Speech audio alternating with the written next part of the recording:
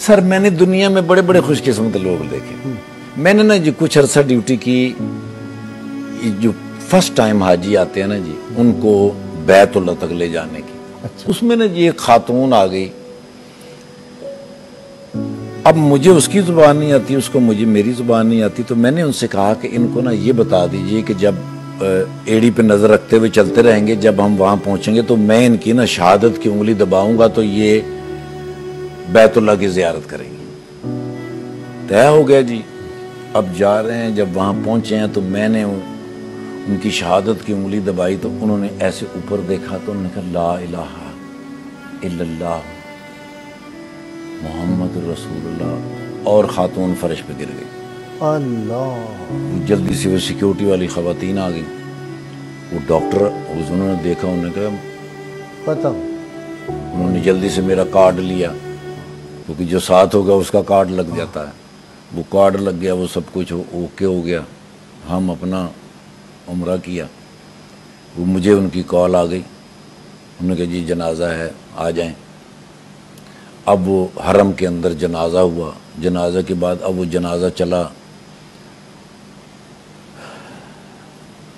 अब वो जनाजा जब चला साथ साथ हम जा रहे हैं, सर। अब जनाजा चलता चलता चलता चलता सीधा अम्मा खतीजतुल कुबरा रज़ी अनहा के कदमों की तरफ़ आ गया। वाह वाह जन्नतुल बाला में। जन्नतुल माला में मैं सारी ज़िंदगी से दुआ करता हुआ रहा हूँ कि यार रब्बे कायनात मेरी कब्र अम्मा के पैरों में बना दे। वाह वाह वाह अम्मा के पैरों में कब्र मिल जाए तो क्या सुभान अल्लाह सुभान और मेरे सामने वो अम्मा वहाँ दफन हो गई सर। वाह वाह। वाह वाह वाह। आखिरी नज़र बैतुल्ला के ऊपर आखिरी कलमा ला इल्लल्लाह मोहम्मद और कब्र जो है वो अम्मा खतीजतुल कुबरा रज़ी अल्लाह के पैरों के अंदर अम्मा दफन हो। सीधी जन्नत। मज़े लेगी। पाक दुनिया की इससे बड़ी खुश नसीब खातून कौन हो सकती है सर? क्या अमल करती होगी वो खातून? वो उसने क्या किया होगा सर के अल्लाह पाक ने उनको ऐसे कबूल किया है? और अल्लाह ने आपको कैसा कबूल किया? कि आपको ये सादत मिली?